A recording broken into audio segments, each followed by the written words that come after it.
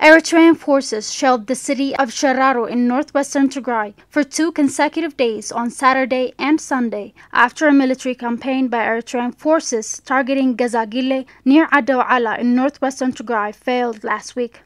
On Tuesday, two brigades of the 57th Division and one battalion of the 21st Division attacked Tigrayan forces in Gazagile. Tigrayan forces scored major military victories, with hundreds of Eritrean soldiers killed and wounded and four taken as prisoners of war.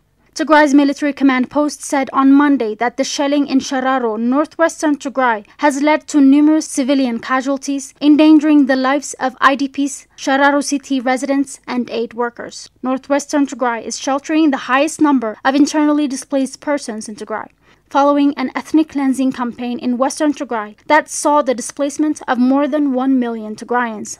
Tigray's military command post called on the international community to play its part to ensure the complete and verifiable withdrawal of Eritrean forces from all corners of Tigray and an immediate end to gross violations of human rights by all forces.